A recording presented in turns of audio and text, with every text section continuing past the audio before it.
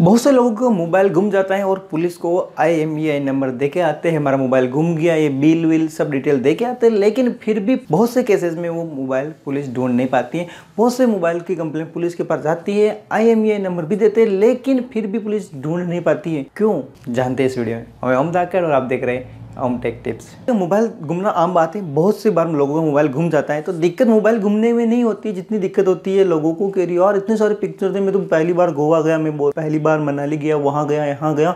और इतने सारे फ़ोटो थे यार। इतने वीडियो थे। अब क्या होगा? मेरे पास तो कलेक्शन पूरा हट गया। तो सबसे पहली चीज़ आप आई होटल में जाकर वीडियो देख लिए। उसमें मैंने बताया था एक वीडियो में कि आप क्लाउड पर अनलिमिटेड फ़ोटो स्टोर करके रख सकते हैं। बिल्कुल सिक्योर तरीके से। ताकि मोबाइल घूम भी जाएगा। तो आपके सारे फ़ोटो क्लाउड पर पड़े रहेंगे। आप वापस से डाउनलोड कर सकते हैं।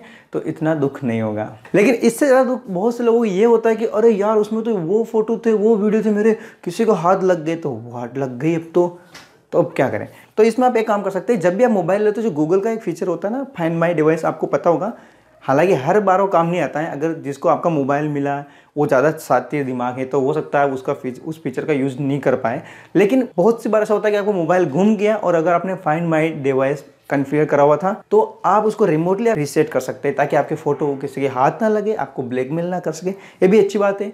फाइंड माई डिवाइस के लिए आई बटन में जाकर वीडियो देख सकते हैं, कैसे इनेबल कर सकते हैं, कैसे आप उसको रिमोटली फॉर्मेट कर सकते हैं, और कोई मैसेज भी छोड़ सकते हो। अगर सामने वाला अच्छा बंदा है तो वो मैसेज देख के चलो लौटा देते हैं तो लौटा भी सकता है। एंड्रॉइड मोबाइल में क्या होता है, अभी घूम गया तो बहुत ईजी होता है, कोई भी आसानी से उसको रिसेट कर सकता है। भले आपने फिंगरप्रिंट दे रखा है, लेकिन कोई दिक्कत नहीं है। सामने वालों को मिल गया, वो आसानी से उसको रिसेट कर देगा फॉर्मेट कर देगा। तो एप्पल का फ़ोन थोड़ा रिसेट करना मुश्किल हो जाता है उस जब लोग आपको रीसेट करते हैं तो वो क्या करता है? एप्पल आईडी माँगता है रीसेट करने पे भी तो उसको रीसेट करना थोड़ा मुश्किल हो जाता है। हालाँकि एप्पल पैसे भी ज़्यादा लेता है तो सिक्योरिटी भी देता है तो सिक्योरिटी के मामले में अभी भी एप्पल काफ़ी अच्छा है, लेकिन लूटता होते पैसे। हाँ एप्पल के प्रोडक्ट इतने महँगे क्यों होते हैं? आईफोन वगैरह, इसके लिए आई बटन में जाकर वीडियो देख सकते हैं। अब बात करते हैं कि अपना फ़ोन गुम हो जाता है, अपन I M E I number देते हैं, पुलिस को वो ढूंढ क्यों नहीं पाती फिर भी? तो देखो, सबसे पहले देख, बता दो आई एम आई नंबर को कोई भी ट्रेस नहीं कर सकता। नॉर्मली उसको ट्रेस नहीं कर सकते, अगर ऐसा होता तो सिक्योरिटी नाम की कोई चीज़ नहीं बचती। आप किसी को भी ट्रेस करते रहते हैं। जैसे आपको किसी का आई नंबर मिल गया, आप आसानी से पता लगा सकते हैं कि वो बंदा वहाँ है, किसी को कुछ नुकसान पहुँचाना तो आई नंबर अगर हर कोई ट्रेस कर सकता है तो कोई भी किसी को नुकसान पहुँचा सकता है।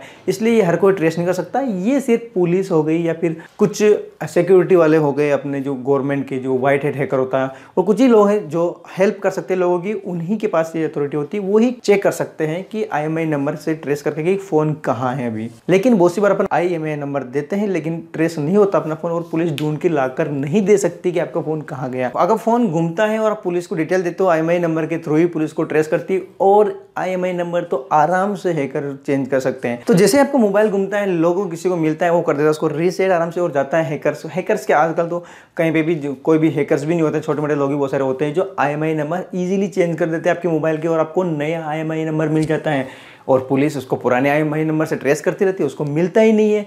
तो यही रीज़न है कि क्यों आपका एमआई नंबर पुलिस के पास होने के बावजूद भी वो आपका फ़ोन ढूंढ के नहीं दे सकते, जिसके वजह से आपका फ़ोन वापस से बिक जाता है चोर मार्केट में, सस्ते से प्राइस में और कोई ट्रेस भी नहीं कर पाता कि आप ही का फ़ोन है। अब बोलेंगे तो करे क्या फिर?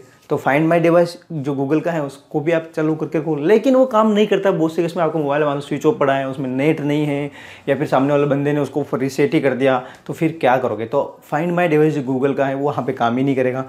तो बस ये है कि मोबाइल को अच्छे से पकड़ के हाथ में लेके चलो ताकि वो कहीं घूमे ना। और तो क्या कहेंगे?